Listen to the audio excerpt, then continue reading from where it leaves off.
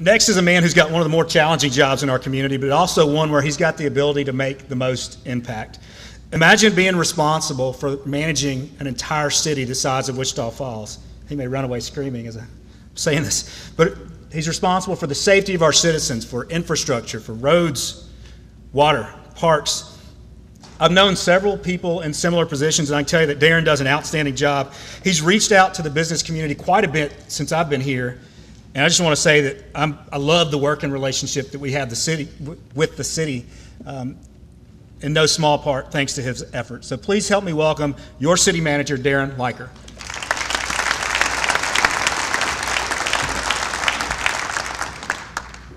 Well, good afternoon. Um, thank you, Henry. Thanks the Chamber for asking me to come uh, speak to you a few minutes and give you an important update that I'm sure is on everybody's mind. You know, uh, Henry mentioned that City of Wichita Falls is a big operation. We have over 1,200 employees, $165 million uh, annual operating budget. We do a lot of things from police and fire, and we have nurses and engineers and a lot of different operating programs um, downtown programs, working with Cynthia, a new airport that we just built and opened. But uh, I want to talk today, I want to focus my remarks on something that's on everybody's mind that's very important, that's paramount to what we do every day, and that's to give you an update on the water situation. Um, as I mentioned, uh, I'll take just a few minutes and touch on a few things that we're working on uh, in the coming year. As you know, we've entered our fifth year of drought, uh, which is a new drought of record for this area. Um, we've seen some improvement in the weather conditions uh, in each subsequent year of the drought, but even 2014, which was the best of that um, uh, of those five years, was still about 17% below um, annual rainfall average. Uh, the current combined lake levels um, as we speak, uh, they're sitting at just under 22%, which is about 6% lower than they were a year ago. And that may surprise a lot of folks uh, who would think that they would have dropped more than that uh, in the last 12 months. Now, 2015 is off to a pretty good start uh, weather-wise, uh, rainfall-wise, but it's really too early, uh, obviously, to get, get very excited about that. Uh, most of our watershed still remains in the worst drought category, which is exceptional, uh, or D4 um, category by the U.S. Drought Monitor. The latest seasonal drought outlook uh, that's something put out by the Climate Prediction Center shows that our drought is expected uh, to persist or intensify. Now, a lot of that is based on the fact that the El Nino weather pattern uh, did not set up and, form as they predicted. Uh, a few months ago, we were in the improved drought category, and that's switched mainly because of the El Nino I mentioned. Now, the key for us, I think, again, will be whether or not we get those heavy rain producing thunderstorms that we usually see, that we haven't seen in the last four or five years, but that traditionally we would see in the spring uh, or early summer, as well as uh, any of the um, tropical storm activity that we might see. Um, later in the year, which, uh, you know, has, has uh, missed Texas for the last many years. Now, I want to talk a little bit about water conservation, which, as you know, is obviously key uh, during a drought. And I want to say thank you to everyone for doing an outstanding job in conserving water. Now, for example, let me put this in perspective. In 2010, pre drought, uh, we treated 10 billion gallons of water that year. Last year, that dropped to just under 4.5 billion gallons of water. With roughly the same population, the same industrial base, we've seen a 55% reduction, which is huge. Uh, to improve this even more, we're working very closely with several of our large water customers to reduce their demands.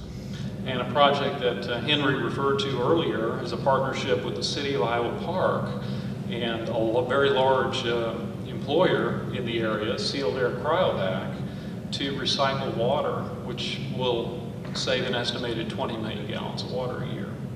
So these are some examples of not only ways that we're conserving, we're saving a lot of water, but these also are examples of how we're helping uh, large employers in the area uh, reduce their operating costs, become more drought tolerant, if you will, and essentially help shore up their operations so that um, they increase their competitiveness. In addition to conservation, uh, a key component that's been helping us survive this drought has been our direct potable reuse, or what we call our DPR uh, project. This system's working very well. Um, it's meeting or exceeding all uh, of the clean drinking water standards of the state uh, and the federal government.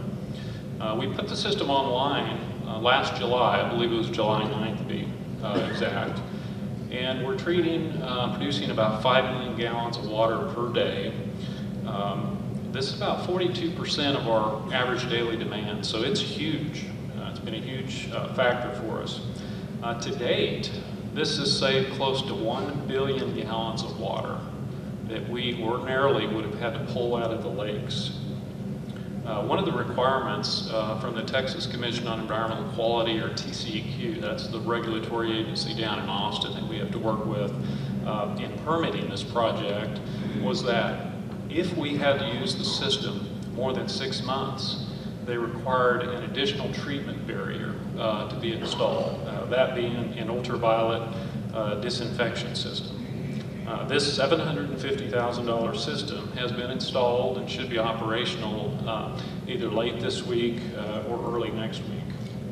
We're also working with TCEQ um, on a, a, little bit of a diversion, uh, a little bit of a different plan with our DPR system, where we want to start using Lake Kemp water uh, to blend 50-50 in the process and dial down the amount of water uh, or eliminate the amount of water that we have to blend from Lake Arrowhead and Kickapoo.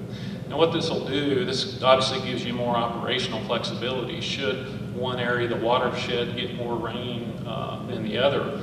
But uh, Lake Kemp has been one of the lakes, uh, the only lake, in fact, that's actually come up over the past few years. So we want to take advantage of that uh, so that we essentially extend uh, the life in Arrowhead and Kickapoo. We hope to get their approval on this plan uh, within the next month or two.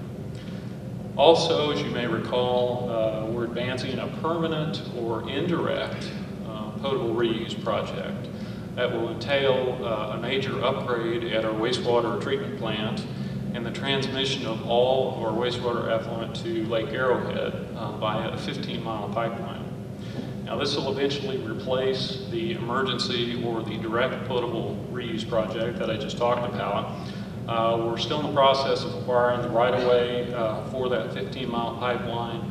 Still in the process of getting the final approvals from TCEQ on exactly what we will need to do uh, to the wastewater treatment plant and so forth. Uh, we're close to getting that approval. Uh, once bids are awarded on that project, uh, we're looking at about a 24-month completion schedule. Now this is about a $32 million project and uh, we're funding it through a low-interest loan from the Texas Water Development Board. And this loan, this subsidized loan, will save us about $8 million uh, off of what it would cost us uh, over the life of that loan if the city just went out and issued bonds. So that's a big plus for us.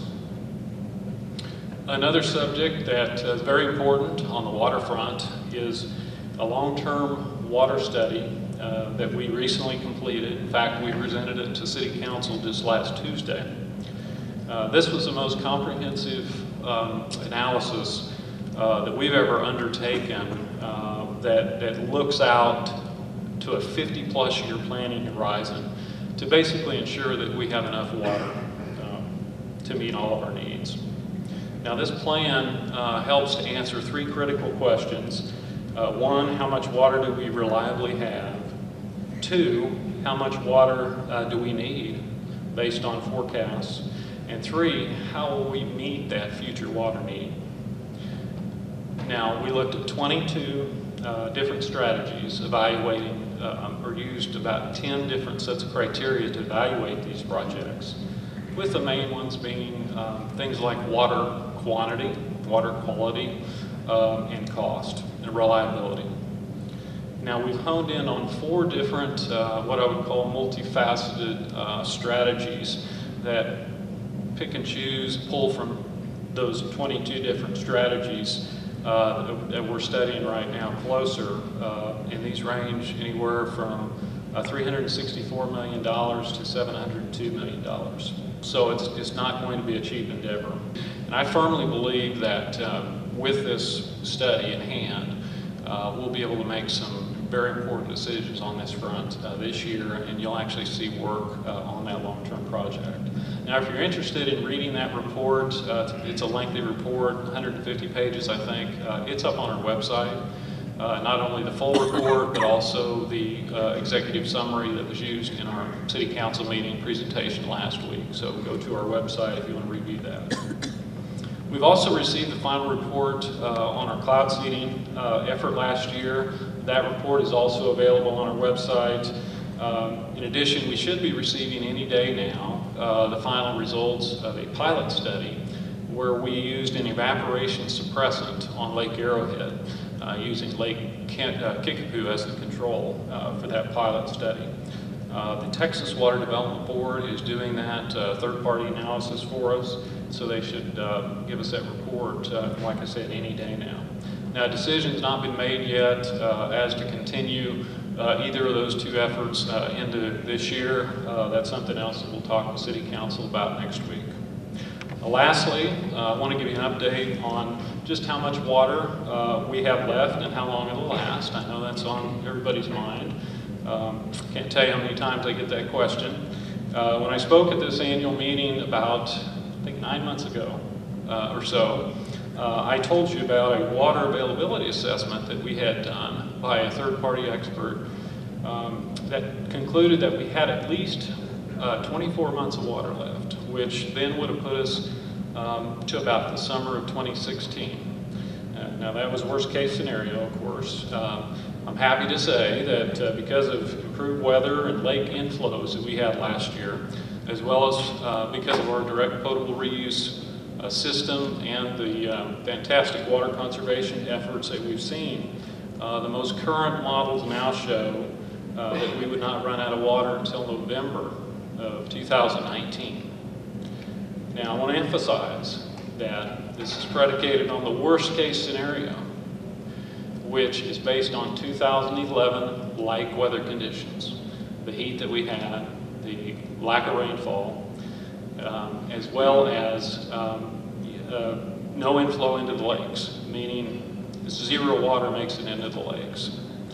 Now, we've been told that's less than a, a 1% probability, uh, statistical probability of happening. Um, and remember, that would have to repeat this year, next year, 2017, 2018, for that to happen. So we think the likelihood of that happening is, is very remote. Now, your next question might be, what if we do have a nine-year drought or a 10-year drought? What's the city's plan? We are working on some short-term uh, options to bridge that gap should that worst-case scenario uh, materialize. So, in wrapping up my comments, um, I want to emphasize that the city of Wichita Falls is doing everything that we can uh, every day of the week to ensure that we will not run out of water. And again, I want to thank you for the comments, uh, or for the chance to give you some comments and updates on the water situation. I covered this pretty quickly. Uh, My contact information uh, is up on the screen there, so if you have a question about anything I covered here or didn't cover, uh, feel free to give me a call, shoot me an email, or stop by. Thank you.